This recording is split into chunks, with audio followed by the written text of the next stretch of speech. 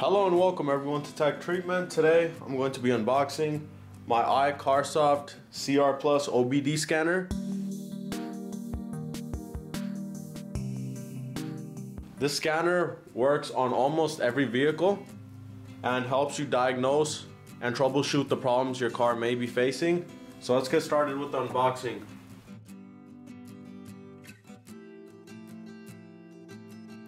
Inside is this pouch which contains the user's manual, a micro USB cable. This is a neat little thing. It's a USB to SD card adapter. The connector that connects to the computer and this side connects to the OBD2 port in your car. The main piece itself, the CR Plus,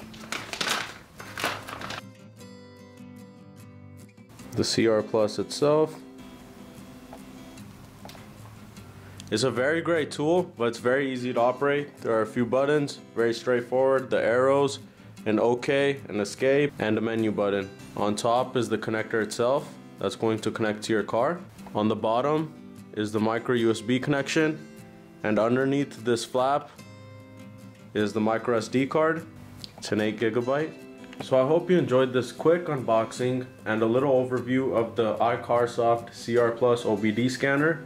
I'm going to be using this on several vehicles on upcoming projects and fixes. So if you have any questions, please leave them down below in the comment box. And if this video has helped you out, please don't forget to hit the like, share, and subscribe button. Thank you.